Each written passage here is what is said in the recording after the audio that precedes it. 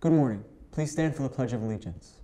I pledge allegiance to the flag of the United States of America and to the republic for which it stands, one nation under God, indivisible, with liberty and justice for all. Please remain standing for a moment of silence. Thank you. Good morning. Today is Wednesday, February 15th, 2017, and it's a B day. There will be a meeting for all girls interested in trying out for varsity girls golf at 2:10 p.m. in room 303. Astronomy club canceled for today. Congratulations to Casey Goldsoon, who finished third in the original oratory at the New York State Championships qualifying tournament.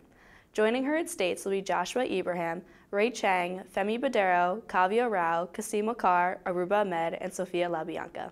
Thank you and have a great day.